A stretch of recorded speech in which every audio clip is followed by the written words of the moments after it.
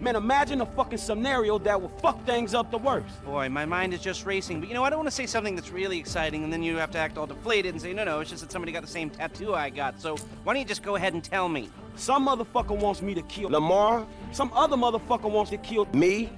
Man, I'm fucked, man. I don't know what the fuck to do right now. Well, I can see that. All right, all right. I say, kill Lamar. Then kill yourself. Man, are you for real? You're fucked. You know, I, I, I don't know. You know everything, dawg.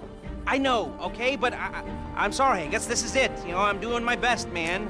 I don't know how you can deal with. Fuck my life, man. Fuck. What's up? Can a low come up in your Enough! Man,